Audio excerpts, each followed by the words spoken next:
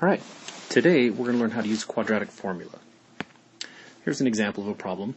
You throw a baseball straight up in the air at 18 meters per second, and it's going to land on the ground 1.2 meters below where you threw it. How long does it take from the time you let go until the time it hits the ground? So we start this like any kinematics problem, listing our variables, starting velocity, ending velocity, acceleration, displacement, and time. We know that the starting velocity is 18 meters per second in the upward direction. We know that on Earth, gravity accelerates all objects at 10 meters per second squared in the downward direction. And we can see that the displacement of the ball is going to be 1.2 meters, also downward. Because we have up and down that are mixed in the same problem, we do need to assign a negative direction. We are going to make down negative. So looking for time means we don't need velocity, so we use our don't need v equation. d equals v naught t plus 1 half a t squared.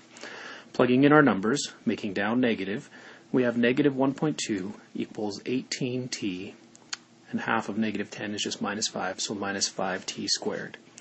Now, at this point, we can see that there's a t, there's a t squared, and there's a number in the problem. This is what we refer to as a quadratic equation. And so, to solve a quadratic equation, one of the methods that we can use is the quadratic formula. That's what we're going to learn today. The first thing we need to do to solve a quadratic equation is to put it in standard form. Standard form is where we have 0 on one side and everything else on the other. So in this case, it's going to be easiest to do by adding 1.2 to both sides. So then we end up with 0 equals negative 5t squared plus 18t plus 1.2. Remember, we did add the 1.2 to both sides. So standard form for a quadratic equation, like we said, 0 on one side, everything else on the other. And when we have it this way, the number that is multiplied by the t squared is, we call that a. The number multiplied by the t, we call that b.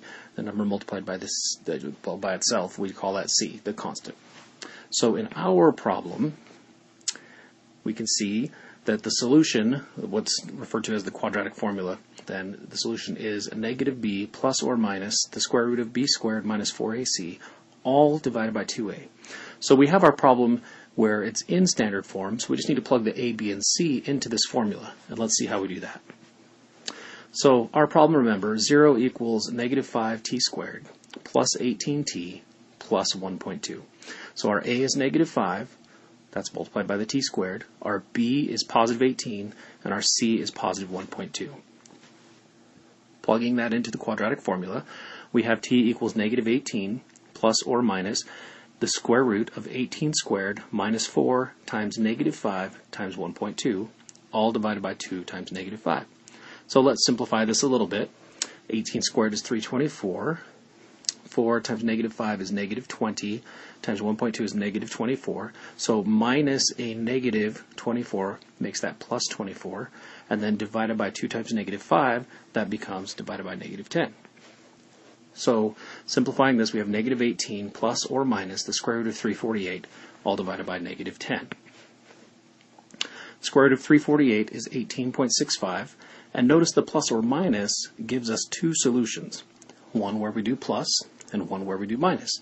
So negative 18 plus 18.65 divided by negative 10, and negative 18 minus 18.65 divided by negative 10. So if we solve these out, we get these two answers, time is either negative 0.065 seconds or time is positive 3.67 seconds. We always choose the positive value for time because negative time doesn't really make sense. You know, the, the, the ball is not going to hit the ground before I threw it. That's what negative time would mean. So it makes sense that we would choose the positive value for time. And that is how you use the quadratic formula. So congratulations, you did it. You now know how to use the quadratic formula.